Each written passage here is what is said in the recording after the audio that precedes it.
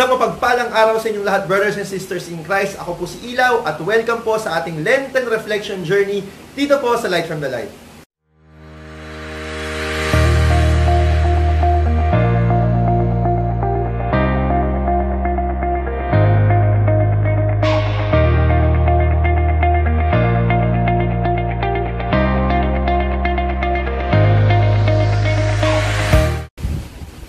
Alam niyo mga kapatid sa pananampalataya, napakaganda po ng ating pagninilay ngayon dahil hango po ito sa ating gospel for today, which is uh, gospel po according to St. Matthew. At ito pong gospel passage, passage na ito ay sikat na sikat po sa atin. Bakit po? Kasi ito po yung ask and you shall receive, seek and you shall find, knock and the door shall be opened unto you. At marami sa atin, lagi itong ginagawa at lagi itong sinasabi, Lord, nagre-request ako sa iyo, Lord, hinahanap kita, Lord, kumakatok po ako ngayon sa pintuan nyo. At madalas sa madalas tinatanong din natin, bakit nagdarasal ako, nanghingi naman ako sa Panginoon, bakit hinahanap ko siya, di ko pa rin siya makita, bakit kumakatok ako, pero mistulang sarado pa rin ng pinto niya. Alam niyo mga kapatid sa pananampalataya, meron pong isang uh, secret kumbaga na hindi natin alam with regard to this passage. At ano po iyon?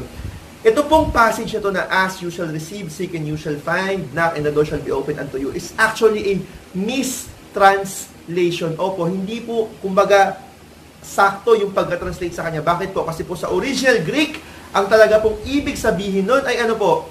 Continue to ask, continue to seek, continue to knock on the door. So ano pong ibig sabihin to? Dapat po patuloy, tuloy lang, dapat Kumbaga makulit tayo, porsigido, kumbaga paulit-ulit. At yan po ang isang magandang uh, hamon sa atin, no? na dapat magkaroon po tayo ng attitude, ng mentality na yon, lalo ngayong panahon ng kwaresma, na ano na, paulit-ulit lang kumatok sa Diyos, paulit-ulit lang na humiling sa Kanya. Kumbaga, sa sobrang pagkauhaw natin, sobrang uh, pagkagutom natin sa Kanya, lagi tayong nangungulit, lagi natin siyang hinahanap. Kumbaga, uh, bawat araw ng ating buhay, bawat segundo, bawat minuto talagang mayat maya eh, lagi tayong kumakatok, hinahanap siya, humihiling sa Kanya. Kaya nga naman, brothers and sisters in Christ, ngayong season of let, let's ask ourselves, Lord, gano'n ba ako kakulit? Gano'n ba talaga ako kasabik na hanapin ka? Gano'n ba talaga ako kasigasig sa pagkatok dyan sa pinto mo? Kasi baka mamaya, kumakatok tayo, isa, dalawa, tatlong beses lang. Tapos, hindi lang napagbuksan, magtatampo na tayo. Kaya nga naman,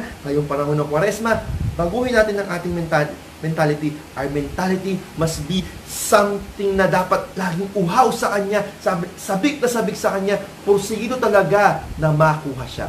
Yan lamang po, brothers and sisters in Christ, remember to share this video para mas marami pa po tayong makatikas at ma-evangelize. God bless po sa inyong lahat. Bye-bye!